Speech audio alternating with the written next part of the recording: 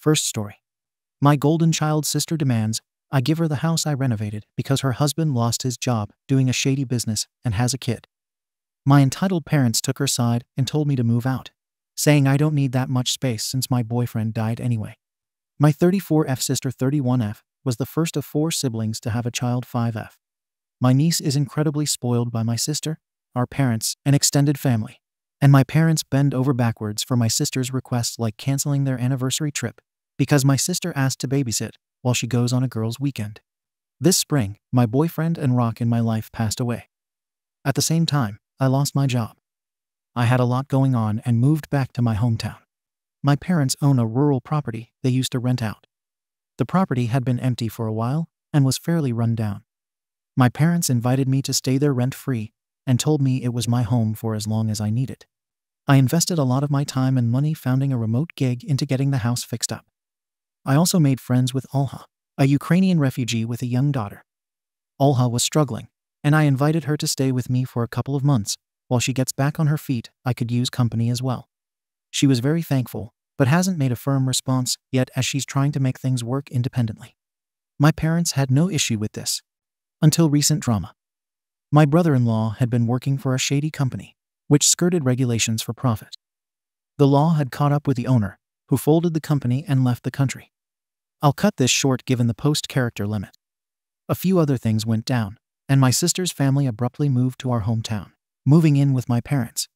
Almost immediately, my parents and sister approached me to swap. I moved in with our parents, and sis and her family took my place. They said the house I lived in was too large for one person, and it'd be so much better for my niece to live on a beautiful property in nature. I didn't understand.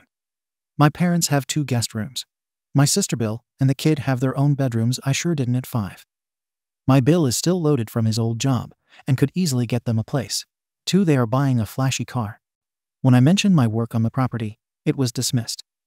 When I reminded them about Olha, my parents were outraged.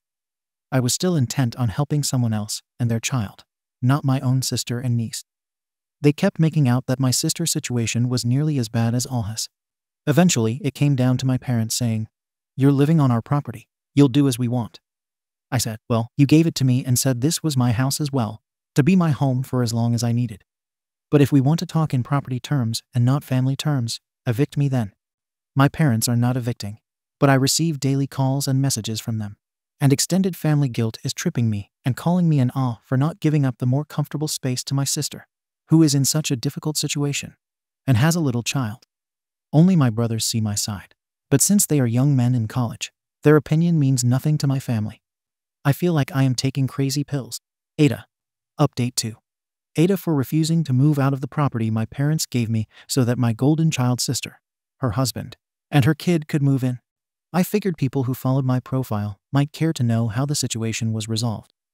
But for this update to make sense, I need to clarify some things about my bill that didn't fit into the original post. My bill's job was technically legal, but morally reprehensible. What his boss and some coworkers were caught in was outright illegal. The situation was very messy, and my Bill and sister decided to move from their city to our hometown to avoid getting dragged into it further and consider their options. It was an abrupt decision and a dramatic arrival. When I referred to Bill being judged by my parents' neighbors and grocers, I meant people in my hometown treating him negatively after finding out what he did. After my post, I needed time to figure out what to do. Everybody seemed to agree, if for different reasons, that I should leave my parents' house. I explained to Olha that I had to rescind my offer, which she was still considering. As I said in my original post, not sure why everyone thought she'd rejected it already. Meanwhile, Bill was having the worst time. After living the high life, he was suddenly stuck in his wife's boring hometown, in his in law's guest bedroom, with random small town folks having the audacity to judge him. So, just a few weeks after their emergency move, he announced he was done and took his family back to their house. If that sounds ridiculous to you, it was far more ridiculous to watch in. I heard about them. Bill was pursuing a role in a project overseas with one of his former clients. It would pay even more than his old job. With my sister and her family gone, my parents said I could remain in the house. As my father put it, they support even their cruelest child. But they are now against me inviting people to stay or any renovations things they were fine with before. Yes, including inviting Olha, as I said in my previous post. They are being so petty that my father tried to stop a family plumber from fixing a broken shower at my request. The plumber told him to pound sand. Many comments suggested I should remove the improvements I made. While that appealed to the petty side of me, realistically, I can't rip out the wiring and whatnot. I no longer speak to my mother, and my extended family still thinks I am disgusted for not prioritizing the needs of a mother and a child. We used to be a family that fought like hell, but made up and stood by each other.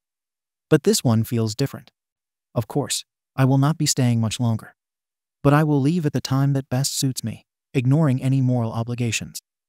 There is nothing but bitterness where love for my family used to be except my brothers. Probably that confirms. My family is sure I'm one. As Bill's example shows, being an RC hole is great, so why not? Last time, I tried to answer as many comments as possible and drained myself badly. Please know that if you gave me your time and thought, I read and appreciated that. Second story. My entitled Sil demands my daughter's heirlooms to her just because she got kicked out of her family, and now entering ours, my delusional brother took her side. Now they are planning to uninvite me and threaten to go to NC, thinking I'll budge. This is my first Reddit post, throwaway. Also, English is not my first language. My 53F mother passed away 10 years ago, and I inherited a few select pieces of jewelry from her. Those are things she cherished and wore often. I have been wearing her watch for the past 10 years. My sister 50F holds a golden bracelet that she loves.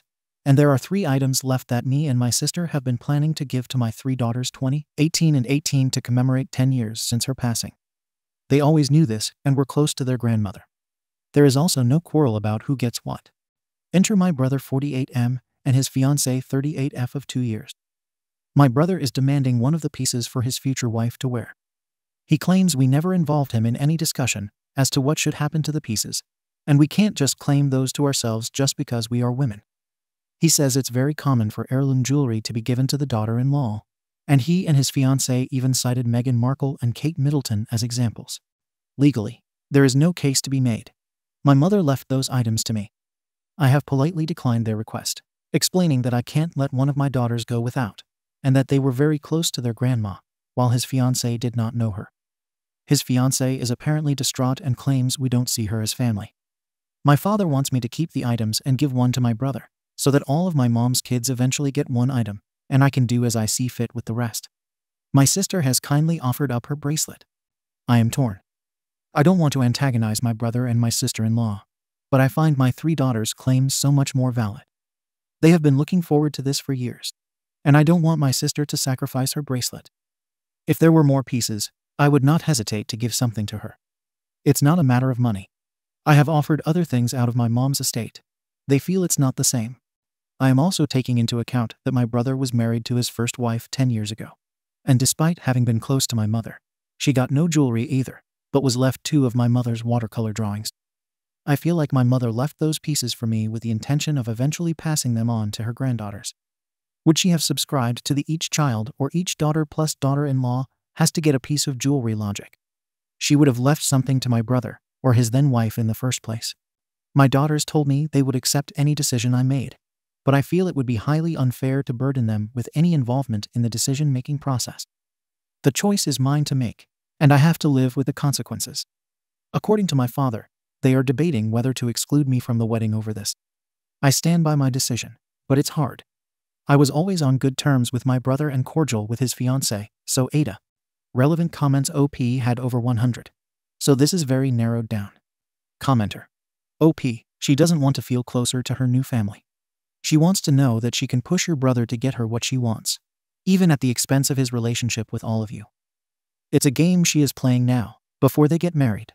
So she knows exactly how far she can push you all, and what she can get her greedy hands on with a temper tantrum, and some threats to exclude you all. Tell your brother the legacy he received is two watercolor paintings his ex wife has, and he's welcome to chase her down for that if he feels so strongly about it.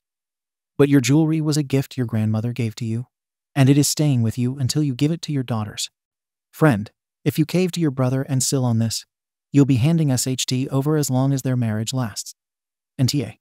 OP, wow, thanks for the clarity and direct words. I am starting to feel like I am in denial about how bad this really is. It's worth mentioning that my brother obviously received his own inheritance as well. To another commenter. Also, He got a sizable inheritance back then, and his wife got two original artworks. Those jewelry pieces are worth approximately $1,000 each. While my mother's original artworks are valued at $1,000 to $3,000, she was an illustrator. So the issue is really not me sitting on a $50,000 diamond ring while they received two worthless sketches. Commenter. Your dad presumably still had items from his wife. He can give one of his treasures to her. You, your sister, and your three daughters got one item each. Not up for renegotiation. OP, we already offered it. But she claims it must be jewelry, so she can wear it on her wedding day. Commenter. Since the brother and fiance seem to want to make the decision, ask them which granddaughter they feel deserves to be deprived of her grandmother's memento, and how they intend to compensate said daughter for her exclusion from grandmotherly keepsakes. Tell them you cannot, in good conscience, hand anything over to the fiance unless they can give a reasonable answer to these questions. OP. My husband actually asked them that, and their answer was that they believe that the twins should share, which is obviously not going to happen as long as I am here to prevent it. Commenter. How does the Sill even know about the jewelry? OP. I plan to give it to my girls at a family dinner commemorating our mother's birthday next month and gave everyone a heads up. That's how she got to know. Commenter. You have three daughters. Your mother left you three items. It's pretty self explanatory. Your mother didn't have to spell it out for you. She just left them with you for safekeeping. If that wasn't her intention, she would have given them to your dad. Plus, your daughters had a personal relationship with your mom, their grandmother. You have the watch. Your sister got the bracelet. Your daughters get the other three. OP, thanks. I feel exactly the same way. I can't for the life of me see where my brother claims we should have involved him in any discussion concerning who gets what because, in my view, it's absolutely clear who gets what. And since she left those things to me, it's up to me to make the decision. She could have left them to anybody else, but she didn't. What else am I going to do with three pieces when I have three daughters? Commenter. Tell your brother to stick with it. These are for your daughter or her bloodline. This is so entitled and ridiculous. OP, I actually don't care so much about the bloodline thing. If my father were to die tomorrow and each of these children would get some beloved sentimental items, I would be really pissed if my husband, who is very close to him, would not get anything. Plus, I really understand why she wants to have something to feel more connected to her new family, especially since she is estranged from her parents and won't get anything from them to wear on her wedding day. The problem lies solely in the fact that I don't have anything to give her without hurting other people. I will not prioritize her feelings above those of my daughters. Commenter. I bet the reason she is estranged from her parents is an eye opener, if you ever find it out. Whatever she told you, it was BS. OP, I don't know the reason, but I will admit the thought has crossed my mind. The fact that she is willing to blatantly ignore her niece's feelings and that wearing a piece of heirloom jewelry on her wedding day is more important to her than the girl's connection to their beloved grandmother is a bit concerning to me. Commenter. If she's trying to feel closer to your family, is there any jewelry that is yours or your sister's that could be given or loaned to her for her wedding day that isn't inherited from your mother? Your sister and your daughters, who actually knew and loved your mother, should, of course, take precedence over someone who has only heard about her. NTA. And your brother is being absurdly pushy. OP. We have now decided to pitch in together to buy something new for her to wear on her wedding day and have as a gift from the family. I hope she will accept this. I could also give her something from me as a loan, but I feel buying something specifically for her would probably be better. It's not that I feel she shouldn't have anything, and I would honestly offer to give her a piece if I had any spare pieces to give. Commenter. NTA. Your brother is marrying a psycho. She's never met your mother, but is distraught that she can't wear her dead mother's jewelry. You are correct. Your mom left the jewelry to you, and, as you stated, your mom didn't even leave your brother's wife's jewelry when she passed. Your brother and his fiancée are acting crazy entitled, and you need to tell them no, and that if they bring it up again, you'll have to excuse yourself from their presence. They are trying to bully you out of your daughter's heirloom jewelry, their birthrights. OP, I can actually see why she would like to have something. We were all very close with mom and kept her memory alive, and it's tricky to enter into such a dynamic years later. I would give her something, especially something to wear on her wedding day. She is estranged from her parents, if I had anything to give. But I can't take anything away from my daughters to help her feel better. Commenter. NTA. The items were left to you. No matter what happens in the future, your daughters will be your daughters. The same can't be said for your brother's fiancée. That relationship could end, And then the jewelry wouldn't be part of the family anymore. If they were married when your mother passed, maybe I'd consider it. But they haven't tied the knot, so don't give her anything. OP. This has been brought up a lot, but I feel I can't, in good conscience, bring up the fact that their marriage might fail as an argument. Commenter. NTA if your mom specifically left them to you. If you and your sister decided between yourselves to take all of the nice jewelry without giving any to your brother, what about if or when he has daughters? OP, he was childless back then, with no intention of starting a family, and his first wife got an inheritance of her own, as did he. He was completely fine with us deciding what to do with the jewelry, as neither he nor his ex wife were interested. The issue only came up with his fiancée recently. Had he voiced his objections 10 years ago, I would not have spent the last 10 years preparing my daughters, and the situation would be different. Also, legally, all items belong to me, and I am under no obligation to share or discuss them with anyone. I discussed it with my sister because it seemed fitting. Again, he was not interested. Asked the first wife for paintings. Asking first wife for her paintings might be an even harder question than the jewelry question, honestly. She received those paintings because she loved our mother and her art. And she was a family member in her own right after replacing my mother as my disabled father's full time caretaker after my mother fell ill. I am not close to her anymore, but I respect her and my mother's wishes enough to not hunt her down after seven years for what is legally and rightfully hers. Update same post. Next day. Thank you all for your kind messages and advice. I would never have expected to get so much valuable support and insider advice from strangers on the internet. Thank you really from the bottom of my heart. We came together with my brother and his fiancée after I had read many of your replies to my husband and my sister. I stated clearly that I will support her in any way possible and that it's very important for me to welcome her home to the family properly. But the jewelry is off the table because I believe I am fulfilling my mother's wishes and I cannot hurt my daughters. I added that I believe that this is not the right way to join a family and that we should strive to resolve this conflict before it creates more tension between my daughters and their uncle and future aunt, as well as amongst us siblings. At first, I thought my brother really saw my point, and he seemed happy that we offered to pitch together to buy something for his fiancée. Unfortunately, she is not willing to accept this. As some of you pointed out, she seems to believe that she ranks right beside my sister and me when it comes to our late mother and supersedes my daughters. She talked about her rightful place in the family and how she had no contact with her family because they denied her the respect that she deserved, and she said that she would not hesitate to do the same with us. She also talked a lot about the pain of not being able to have any heirloom jewelry for her wedding. And honestly, I believe only a few days ago I would have been presented with her tears. But thanks to your kind words, I was able to see through her emotional manipulation. And really, now that I am aware of what she's doing, it is so obvious. I must say that my brother looked very uncomfortable. She then stated that it would be a waste to give the pieces to my daughters, since they would just sell them for the money to buy makeup, which is absurd. I ended the conversation at this point by stating that I hold firm to my boundary, and that they are free to do whatever they feel is the right thing for them. I am heartbroken, and I hope my brother will change his mind. So, no happy ending. But thanks again. Relevant comments. Commenter. That's great that you've seen her for what she's really doing. Good luck to your brother because the fiancé sure sounds like a peach. Well done for looking out for your baby girls. I know they're 18, but they'll always be your babies. OP.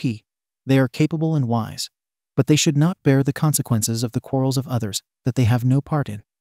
And although I am heartbroken by all of this, I can firmly feel my mother's support in this, as she put me in charge of protecting what belongs to her granddaughters and daughters. Thank you for your support. In response to a longer comment. Thanks again. I appreciate your encouragement. I hope their next move will be one of love and understanding, but it's hard to tell what they will do. While I don't believe they are considering physically stealing the pieces from me, I have now given the two pieces meant for the younger girls to my mother in law for safekeeping at her house until the dust settles. She is obviously livid at the treatment of her granddaughters. The girls felt a lot of pressure from their uncle, which is so heartbreaking. My eldest, on the other hand, calls her future aunt a grifter and says she will not accept any change of plan to accommodate her, so she will receive her piece as planned. She has also been looking forward to wearing it for a long time. I have no words at this point. I am hoping for the best. Third story. My dying ex wanted to have a clouser and wanted to talk to me as her last wish, but my wife completely denied it and said no.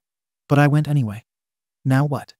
I had no contact with my ex after we got married. I was recently contacted by my ex's sister because she has cancer that's terminal. She's in hospice. Her sister explained to me that one of my ex's wishes was to talk to me face to face about something important. They both insisted that it had to be done in person. She wouldn't explain what it was because she said she didn't even know. I told my wife about this, and she told me absolutely not. I cannot visit her. I understand her feelings about this, but this person is quite literally dying. We have to come to a decision, and I don't know what's the best thing to do. I'm asking here, and I want to know how other people feel about it. Comments MRS Jonesy 2012. I'm firmly on my wife's side. Like, what good could come from seeing her? She tells you she still loves you, or some secret reason why you broke up, etc. Would that actually do? You've been out of contact for a while, so I see no reason why she'd need to talk to you. Other than her selfish wish to see you one last time. And yes, dying people can still be selfish and manipulative. You go and visit her. And if in a few weeks she wants another visit, then what? You keep going and seeing her while disrespecting your wife. Is it worth potentially ruining your marriage to see someone from your past? On at me. We don't have sufficient information to give sensible advice. What sort of person is or was your ex? Why did you separate? How did you split up? Amicably. Why did you go without contact? Even though your ex sister in law doesn't know what it's about, you could still ask her for information about your ex. How has she been since your divorce? What sort of person is she now? What is her mood? Then, about your wife. What is her reason for saying no to you going to see your ex? Is it jealousy or insecurity? Or does she have grounds to fear that the visit will affect you negatively? You don't need to answer these questions here. Just think about them. Perhaps you'll think of others. P.S. I am divorced. We didn't split amicably, and we went without contact, my reason being that I wanted to retain my sanity. But if my ex were dying and expressed a wish to see me one last time, I'd go. Update. Three days later. We had the talk again, and we couldn't come to a mutual agreement. I talked to my ex, and she's still insisting that we talk in person. My wife and I just couldn't come to an agreement about this. I told her because she asked me that I would be okay with her doing this with an ex if she was put in this position. In any mm-hmm. case, I'll be visiting my ex next week. While I'm disappointed that my wife and I couldn't come to an agreement about this, I will also be doing what I think is right. Comments. Many Byte 3 535. See you in divorce. Nodor of Nelsbear. I don't know. She could apologize for her actions or just say goodbye. The lack of basic human sympathy and dignity in this thread is probably why so many here are unhappy. Let's just say the sub is right and confesses some faded emotions. If an OP's marriage can be ruined by a conversation, then is it really a marriage? This sub and your wife are refusing to see your humanity. They've reduced you and your ex down to a bunch of horn dogs who can't have an adult conversation. It's really sad that the top comments are accusing a dying woman of having some secret plan, when the most logical reason is that she just wants to get or offer some form of closure. OP, your wife is treating you as less than, based on fear. Choices made out of fear only ruin marriages, in my opinion. Marriage is a union, not a dictatorship.